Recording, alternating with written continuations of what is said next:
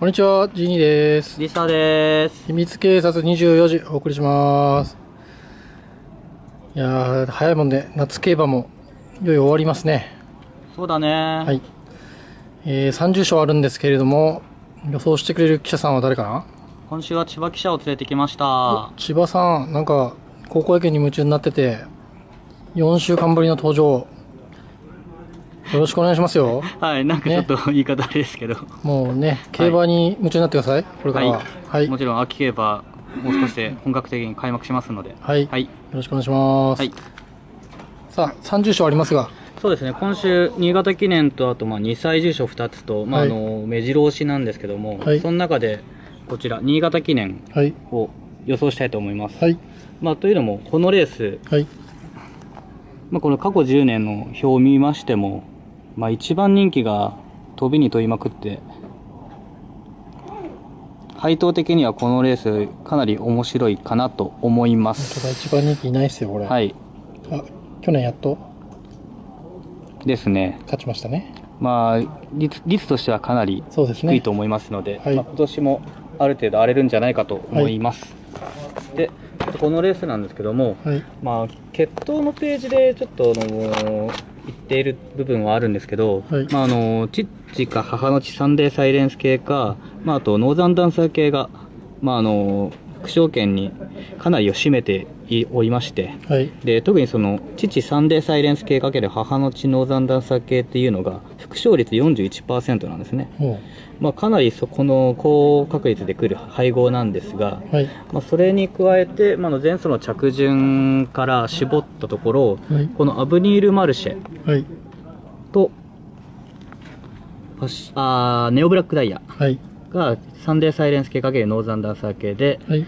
なんですがちょっとまあこの2頭に関しては、はい。えーちょっとまあ気になるところがありまして、はい。まあ、ネオブラックダイヤに関しては前走が、まあ、G1 宝塚記念で9着だったんですけども、はい。あの前走 G1 だった馬はい。っていうのがあの1005という成績で、はい。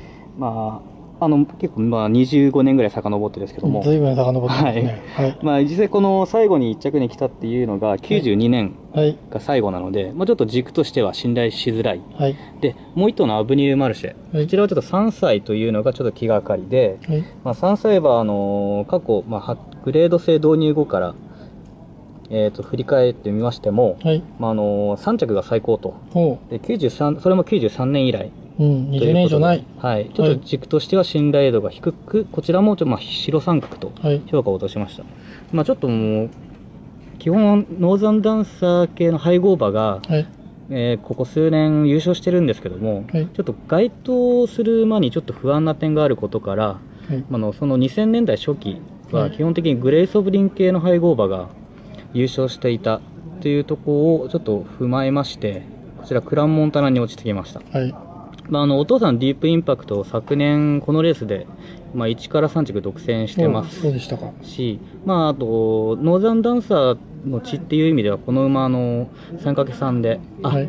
えーとあ、まあ、3台以内にノーザンダンサーのクロスを持ってますので、はい。まあ、あの持続力という点ではかなり秘めていますし、はいまあ、新潟の長い直線でもいい足を使ってくれると思います、まあ、ここき前走で小倉記念4着、まあ、8番人気ながら4着と復調してきてますし、はい。まあ、実際昨年このレースで2着に来てますので、なるほど。まあ、この上昇度を考えるとこの馬を軸にして問題ないかなと思います、はい。で、ま丸がネオブラックダイヤで、で先ほどそうですねまあ基本あと黒三角にメドーラークなんですが、はいまあ、こちらサンデーサイレンスの地位が入っていないんですが、はい。まあ、ノーザンダンサー系の配合馬の中ではこの馬が一番魅力的かなと、ほまあ、金層この4連勝中とう。お、なんと。乗りに乗ってまして、らこのはいまあ、特にまあ左回りでも2100と、馬。うん。ちょっと楽しみな馬だと思いますね。はい。ので、まあ、一応この厚めの印ということで。そうですね。はい。あとは、まああのうん、そうですね、先ほどのアブニール・マルシェが白三角はいと、とパッションダンスはい。と、マジェスティ・ハーツと、はい。メゼスルタンまで、はい。この辺が連したと。はい候補と。ということで。はい。はい。で、もう一人レース予想してくれるんですよね。いいですか？はい。じゃあひとまず小倉2歳ステークスは、まあ正直こちら、超え点まではいいいと思います。はい多分修二が人気を集めるかなと思いますけど、はい前走がまあマイルからということで、ちょっとね、珍しいローテーションですね。まあ多分連勝中で強い競馬だったんですけど、い1200メートルだったら超え点まではい。問題ないかなと思います。まあ修二に負けてますけど、この距離ならはい。逆転は可能だと思います。はい。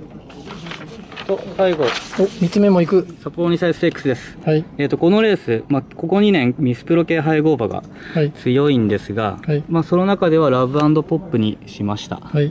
まあ、あの、サンデーの血も3代以内に入っている中では、この馬がはい。いいかなと。まあ、あの、ここ2戦連勝と、まあ、はい特に前走も札幌1008同じ舞台でコスモス賞勝ちきてますから、うん。えっ、と、まあ、この馬でちょっと3連勝を狙いたいかなと。はい。えっ、と、相手には、まあ、先ほども言ったようにミスプロ系配合馬のスパーキングジョイ。はい。ですね。まあ、あと、アラバスターも、まあ、ちょっと良血ですけども、父、ハービンジャーがノーザンダンサー系というのがあまり相性が良くないので、はいまあ、ちょっと黒三角にとどめました。はい。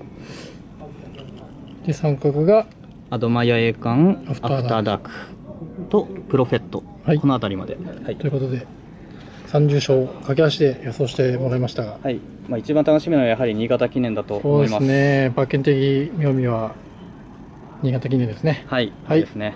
ということで、えー夏競馬最終週ということになりますが、皆さんどうぞ、お楽しみに。秋の G1 につなげたいですね。はい。はいでは、さよなら。さよなら。また来週。